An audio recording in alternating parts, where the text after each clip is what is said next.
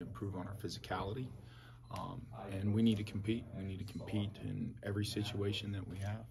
And what kind of progress have you feel has been made over about, I guess, three weeks? Inconsistent.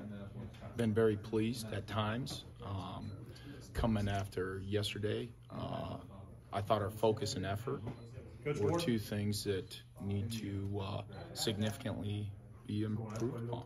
So, um, you know, we're not afforded right now the ability to take two steps forward and one step back. We need to continue to push forward. And uh, that's going to be our goal here moving forward, the this remaining nine practices that we have. Who's kind of broken through a little bit as you look for the five guys? Yeah, that's awfully early to say, quite honestly. Um, I've been very pleased with Andrew Leingang and his transition uh, to playing multiple positions. Obviously, when you look at Cooper Beebe, uh, he's a guy who's fulfilling those expectations.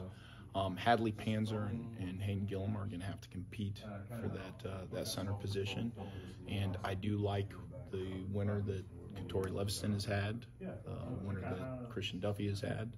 Um, Dawson Delforge is somebody who's had a lot of experience, and you can kind of continue down the list. I think, quite honestly, that's going to be a, a better answered question here in about five or six practices. How much do you focus on building versatility along the line and getting guys to play multiple positions? That's a focus, interestingly enough, that I begin with even during the recruiting process. It's our job as coaches are to put the best five out there. And it doesn't always necessarily mean that if one guy goes down because of an injury, that, boy, that next right guard is going in. We have to have the ability to be very versatile. So, where a lot of that versatility takes place is really with that center guard position.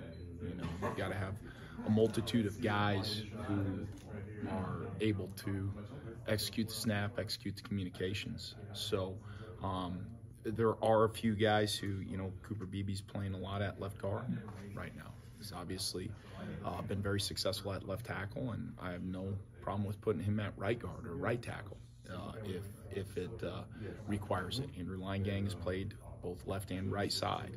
Kaitori Leveston is playing both left tackle and left guard.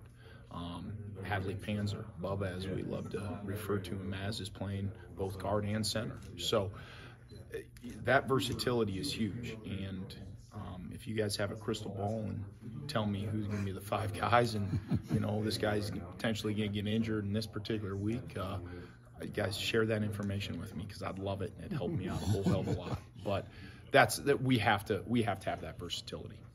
What's Leingang doing that's kind of thrust him into the spotlight, so to speak?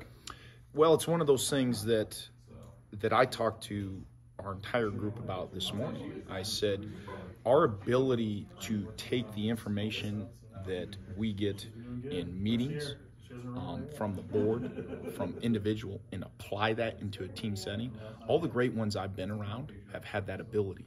He is showing that ability right now. When we talk about something in a meeting, when we have a walkthrough in an afternoon, when we have you know, an individual drill, and you have the ability to take that and apply that into a team setting, a competitive setting. Those are things that he's doing right now that are showing me he's he's on that right trajectory. How fortunate is it to have Taylor Poitier back after not having him all of last year? Well, I I believe that Taylor um, is one of the most talented offensive linemen, not only in this building, but also in the league. And having him out a year ago was was challenging. It was challenging on him. Obviously, it was challenging on our offense. So I'm excited to get him back, get him back in the fold of things. Um, anytime in, in my history has shown, anytime that you have an injury like that, the biggest thing that you need to gain is confidence. You need to gain confidence back in that that, that appendage, if you will, that, that it does work, that doctors did their job, that your rehab, uh, that our training staff, who does a phenomenal job, have put you in a great position to, to kind of get back to where you were. What's the biggest